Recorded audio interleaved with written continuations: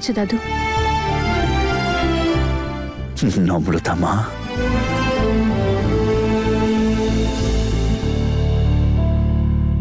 কিরে সব ঠিক আছে তো? হ্যাঁ গো দাদু। আরে দেখো আমি আমার দাদুর বাড়িতে আসতে পারি না? আমি পালিয়ে আসিনি এবারে বলে এসেছি ওই বাড়ির সবাইকে। আর নূর আছে ওখানে সব সামলে নেবে। আমি জানি এবার সেলিম আমি বাপের বাড়ি গেছে না? তাই ভাবলাম এবারের অনুষ্ঠানে আমি এসে সাহায্য করে দিই। খুব ভালো করেছিস সোনা। আরে মা এটা তোর নিজের বাড়ি। তুই যখন খুশি আসবি। আরে তোকে দেখে তো আমাদের খুব আনন্দ হয়।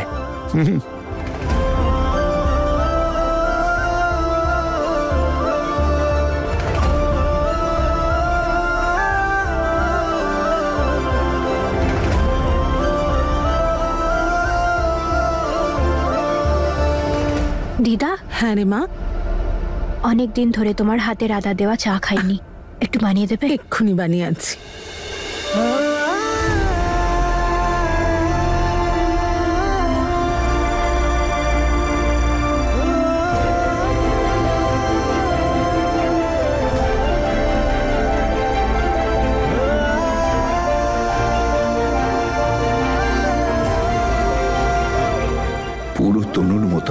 মনে যতই কষ্ট থাক বাইরে সেটা প্রকাশ করে না। কিছু তো হয়েইছে না হলে অনুষ্ঠানের সময় এভাবে চলে আসতো না।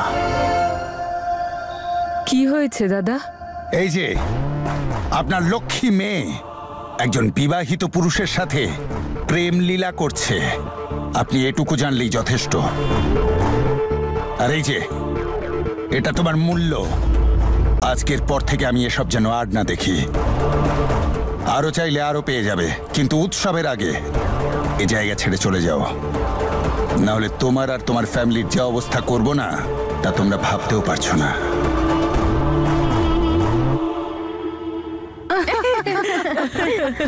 ভালো হয়েছে তুই এসেছিস। দেখ বাড়িটা কেমন ঝলমল করছে। সবাই চুপচাপ ছিল উৎসব বলে মনেই হচ্ছিল না। এখন যখন বাড়িতে ঝলমল করছে তখন একটু নাচ গান হয়ে যাক। হ্যাঁ হ্যাঁ সে বলতে।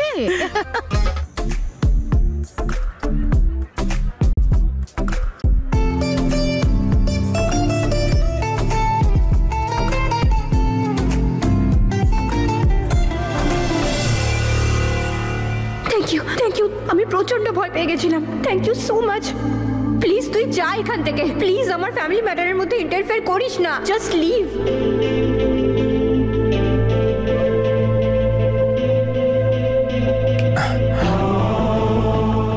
কি ভাবছিস ভাই? পার্টিতে এসেছি। কিছু বল। আই এম রিয়েলি সরি ভাই ওই আজকে দিনটা একটু হেকটিক ছিল। আচ্ছা শোন আহ, আমার একটা খুব আর্জেন্ট কল করতে হবে। আমি এক্ষুনি কলটা করিয়ে আসছি। কোথাও যাবি না তুই? আমাকে আরে, একটা এক মিনিট মিনিট বস না। প্লিজ ভাই এক মিনিট একটা একটা কল খুব আর্জেন্ট কল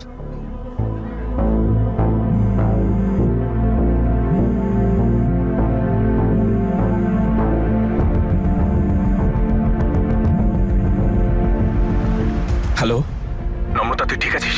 কেউ কিছু জিজ্ঞেস করেছে তোকে? তুই কেন আমায় বারবার ফোন করছিস? কেন বারবার আমার লাইফে আসছিস? তোকে আমি বলেছি না, আমার লাইফে ইন্টারফেয়ার করিস না। তুই কি ভাবছিস আমি ওইখান থেকে চলে এসেছি বলে ফ্রি হয়ে গেছি? তুই সহজেই আবার আমার কাছে আসতে পারবি? ঈশান আমায় বারবার ফোন করে বিরক্ত করিস না।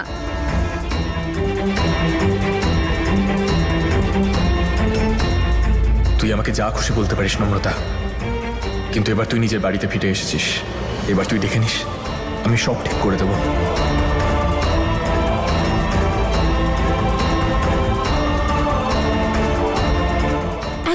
জীবনে হিয়া এসে গেছে। তাই তুমি দেখে নিও, শুধু নম্রতার ছায়া নয়, ওর স্মৃতিটুকু তোমার জীবন থেকে মুছে দেবে।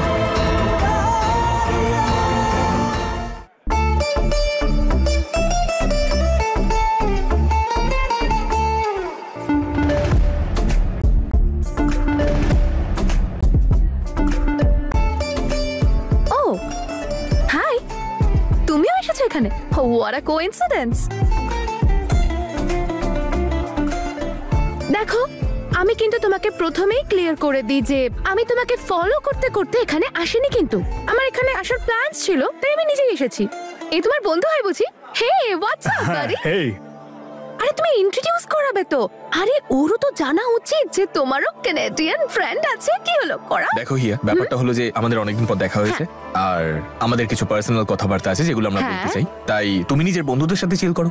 আর আমাকে আমার বন্ধুর সাথে শান্তিতে কথা বলতে দাও। আর থ্যাংক ইউ সো মাচ যে আমরা এখানে এভাবে কো ইনসিডেন্টালি তোমার ইচ্ছে ছিল না কিন্তু আমাদের এখানে অজান্তেই দেখা হয়ে গেছে। ওকে দেন বাই আমি যাই হ্যাঁ?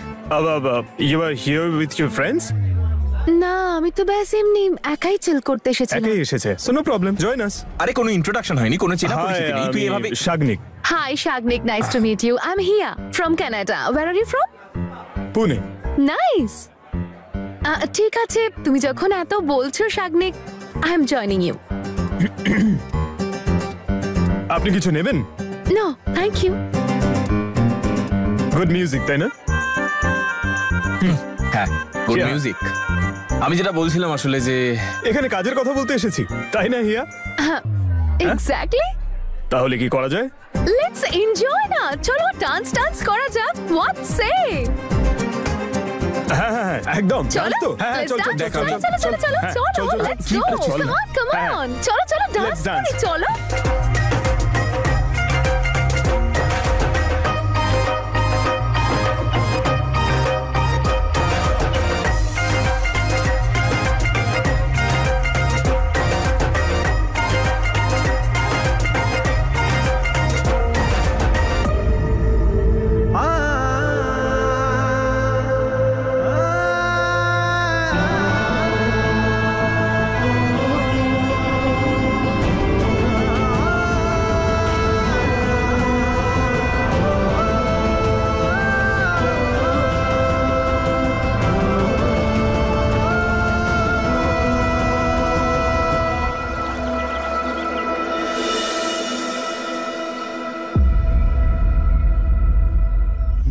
ওপরওয়ালা লীলা খেলাও কি অদ্ভুত।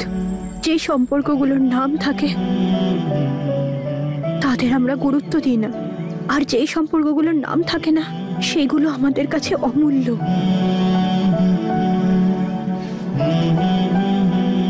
আমি অনেক চেষ্টা করেছি, মাম্মা। দুটো পরিবারের সম্মান, নিজের সম্পর্কগুলোকে মন থেকে ভালো রাখার চেষ্টা করেছি। এই জোর করে হওয়া সম্পর্কটাকে টিকিয়ে রাখার চেষ্টা করেছি। কিন্তু এবারে আমি আর পাচ্ছি না।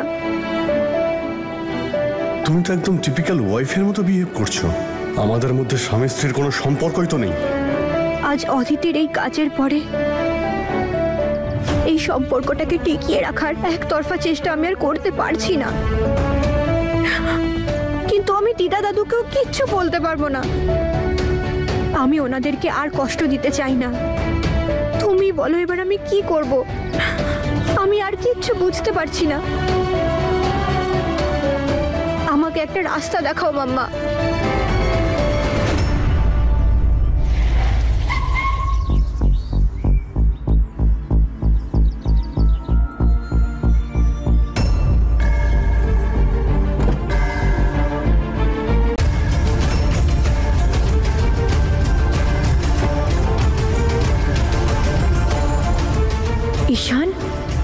আবার দাদু দিদাকে কিছু বলে না দেয়। ঈশান প্লিজ কাউকে কিচ্ছু বলিস না। দাদু দিদা এটা সহ্য করতে পারবে না। খুব কষ্ট পাবে ওরা। ভেঙে পড়বে খুব।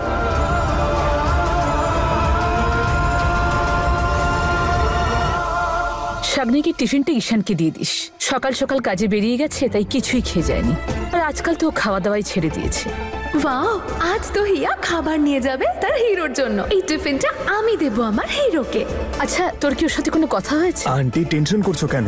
ওর সঙ্গে কথা বলব। আমি যাই। আচ্ছা ঠিক আছে। এত ভালো লাগছে তোমাকে দেখে। কতদিন বাদে বাড়িতে এলে? তুমি ঠিক আছো তো? হ্যাঁ দিদা আমি ঠিক আছি। শুধু তোমাদের কথা খুব মনে পড়ছিল তাই চলে এলাম দেখা করতে। আর কালকে তো অনুষ্ঠান। আর এই অনুষ্ঠানের দিনে মনে আছে তো দাদু? ছোটবেলায় কি বিরক্ত করতাম আমি তোমায়? সব সময় বলতাম আমি কুড়ি ওড়াতে যাই দাদু। আর তুমি কি বিরক্ত হতে?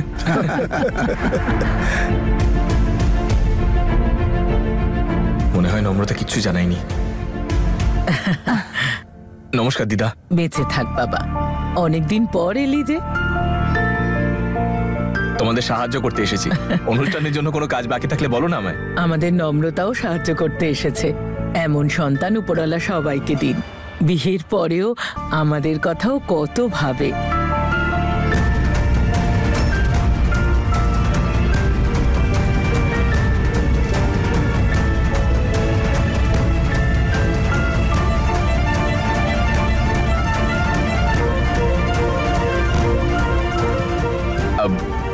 আমি আসি তাহলে এখন। আরে বাবা এটা একটু খেয়ে যাও অন্তত। দাদু পরে এসে খাব আমি। আর তাছাড়া আমাকে এখন ডিউটিতে যেতে হবে।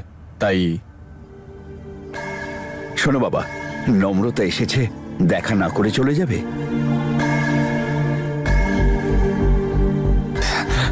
দাদু আসলে ডিউটিতে যেতে হবে একটু আর্জেন্ট না হলে আমি দেখা করতাম। আমি আসি এখন। আচ্ছা। ভালো থাকো। ঠিক আছে বাবা। ভালো থাকো।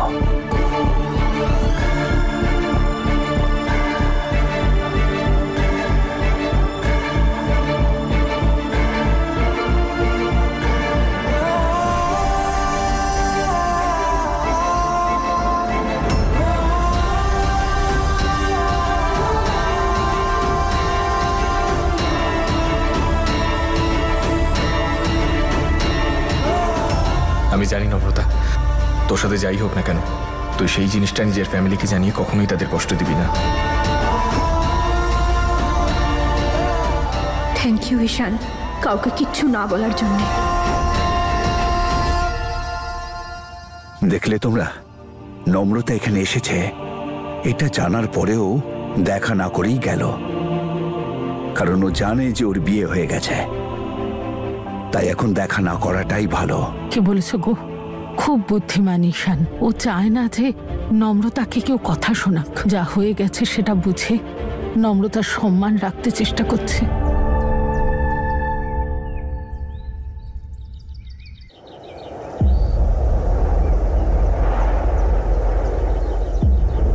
আমি জানি ঈশান। আমি জানি তুই আজও আমায় ভালোবাসিস, আমার জন্য চিন্তা করিস। কিন্তু কতদিন করবি? কথায় আছে, সময় সব কষ্ট ভুলিয়ে দেয়। আমাদের ভাগ্য তো আমাদের দুজনকে আলাদা করেই দিয়েছে, কিন্তু সময় তোকে কিছুতেই কিছু ভুলতে দিচ্ছে না। আমি তোকে অনেক কষ্ট দিয়েছি, ঈশান। আমার তোর কাছে ক্ষমা চাওয়া উচিত।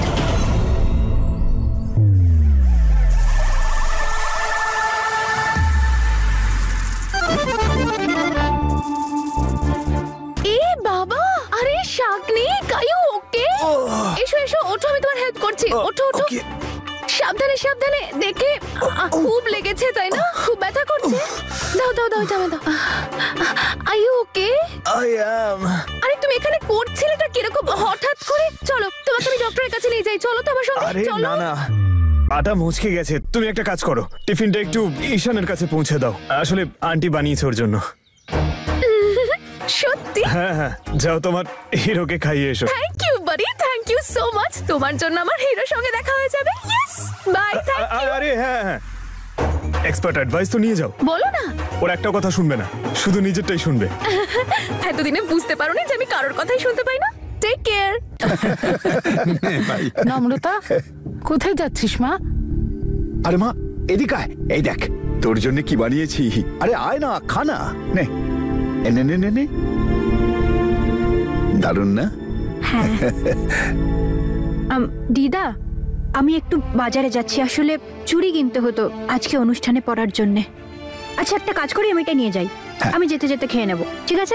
আসছি আমি। সরি দাদু আমি তোমায় মিথ্যে বললাম। ঈশানের পুলিশ স্টেশনে যাওয়ার আগে আমি ওর সাথে একবার দেখা করতে চাই। হ্যাঁ ম্যাডাম। বলুন। কি কাজ আছে? কোনো কমপ্লেন টেমপ্লেন করবেন নাকি? অফকোর্স কমপ্লেন লেখাবো সেটাই তো করতে এসেছি। ম্যাডাম আপনি শুধু নামটা বলুন কার রিপোর্ট লেখাতে হবে? তাকে আমরা এক্ষুনি ধরে নিয়ে আসছি থানাতে। আপনাদের এএসপি মিস্টার ঈশান।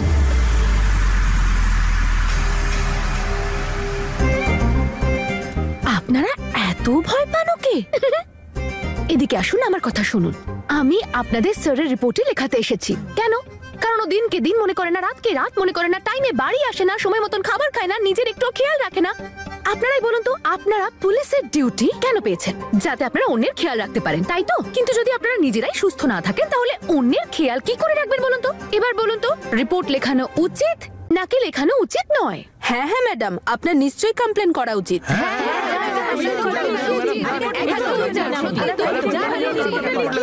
বলুন বলুন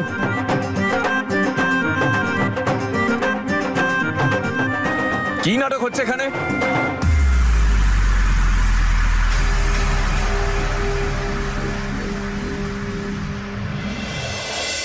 Hi hero! কেমন আছো তুমি? আরে দাঁড়াও দাঁড়াও দাঁড়াও! আন্টি আমাকে এখানে পাঠিয়েছে তোমার টিফিনটা দিতে। দাও টিফিনটা দাও দাও। মাও আছে তোমাকে আমার পিছনে লাগিয়ে দেয় আরে আমিও তো আছি। সব সময় তুমি শুধু তুমি কি করতে এসেছ? টিফিনটা তো দিয়ে দিলে। আমি খেয়ে নেব। ঠিক আছে? যাও। আরে যাও মানেটা কি? হোয়াট ডু মিন বাই যাও? আমি কোথাও যাব না কান খুলে শুনে রাখো। আন্টি আমাকে বলেছে পুরো রেসপন্সিবিলিটির সাথে তোমাকে আমার চোখের সামনে বসে খাবারটা শেষ করে তারপর এখান থেকে যেতে। কে বলতে পারে তুমি আমাকে মিথ্যে বলে দেবে? যে হ্যাঁ হ্যাঁ আমি খেয়ে নেব। তারপর যদি না খাও? আমি তোমার মতো মিথ্যে বলি না। হায়। আর এখানে আমার মুখের সামনে দাঁড়িয়ে কেন আছো? যদি বসতেই হয় তাহলে ওখানে গিয়ে বসে পড়ো। ওকে দেখো আমি মানছি যে আমরা ফ্রেন্ডস নই। কিন্তু একসাথে খাবার তো খেতেই পারি। কারণ আন্টি শুধু তোমার জন্য নয় আমার জন্য খাবার প্যাক করে দিয়েছে একটা কাজ করো তুমি যাও আমি পরে খেয়ে নেব। এক্সকিউজ মি আমি নিজেও খেয়ে যাব আর তোমাকেও খাইয়ে যাব। এবার বলো তো তোমার কেবিনে কোথাও প্লেস টেস্ট নেই নাকি? হ্যাঁ ওখানে আছে। ওকে থ্যাংক ইউ এর মাথায় কোনো সমস্যা আছে মনে হয়?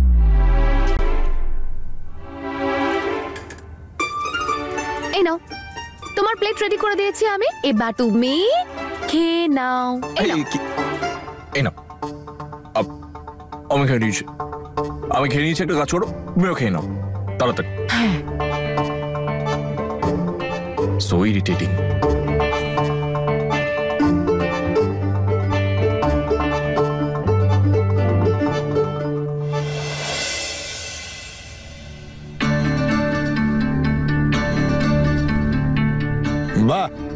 কে দেখে বলবে যে মহারাজের স্ত্রী তার কুকর্মের জন্য তাকে ছেড়ে বাপের বাড়ি গেছে? শান্তিতে বসে খাবার খাচ্ছে। যেন কিছুই হয়নি। আরে একটু তো লজ্জা পারে। তুমি ওকে ব্রেকফাস্টটা করতে দাও অন্তত। এই চুপ করো। কেমন মা তুমি? তোমার বড় বৌমা তোমার ছেলের জন্য এই বাড়ি ছেড়ে চলে গেছে। আর তুমি বসে ওকে গান্ডে পিণ্ডে গেলাচ্ছ। ইচ্ছে করছে একটা থাপ্পড় দি দুটোই অকর্মা ঢেকি। আমি জানতাম নিষ্কর্মা। তুই তো দেখছি ওর থেকেও বড় নিষ্কর্মা। লোকে শুনেছি পায়ে কুড়ুল মারে। তুই তো দেখছি কুড়ুলেই পায়ে গিয়ে দিয়েছিস। নিজের বাড়িতে, নিজের বিছানায়, নিজের স্ত্রীর সামনে। একদম গলা তুলবি না, নাহলে এক্ষুনি গলা টিপে দেবো তোর। অনেক কষ্টে আমি এই ব্যাপারটা সামলেছি। ওই যে ওই মেয়েটা, ওকে ওয়ার্ন করে এসেছি, যেন এখান থেকে কেটে পড়ে।